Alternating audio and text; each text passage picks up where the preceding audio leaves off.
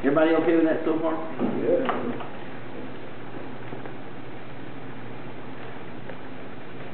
First John four.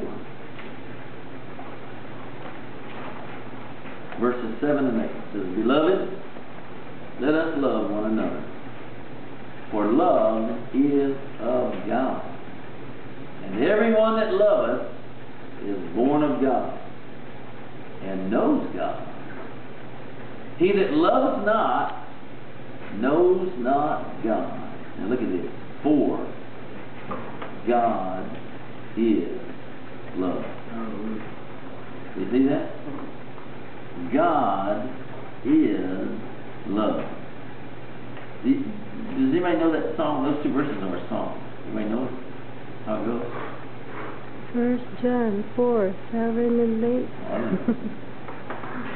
And I can't really sing very well, but I'll, I'll show it to you. Because it's catchy. You get it, you'll memorize the verse. It says, Beloved, let us love one another.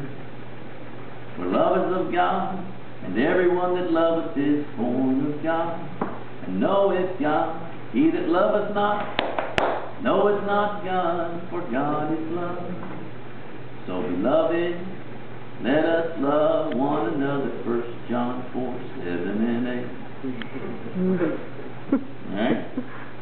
So try it with me. Beloved, let us love one another.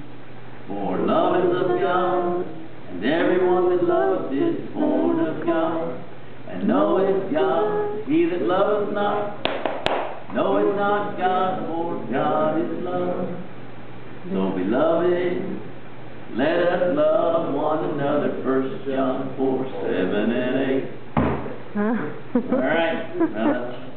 Praise the Lord. Let's pray. Father, we love you. Thank you that you have filled us with your love, and your love flows through us to a lost and dying world, Father, that is unlovable in the natural. But because of you, Lord, we can love them. And we can minister to them and give our lives for that very purpose. We ask you, Lord, tonight put this, this into our hearts.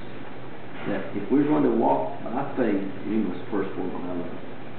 And we thank you, Lord, that you help us to do it because we know it's not in our flesh to do it, but it has to be by your Holy Spirit supernaturally doing it through us. And we yield ourselves to you, Father, that you have your way and that your love will truly flow amongst each other.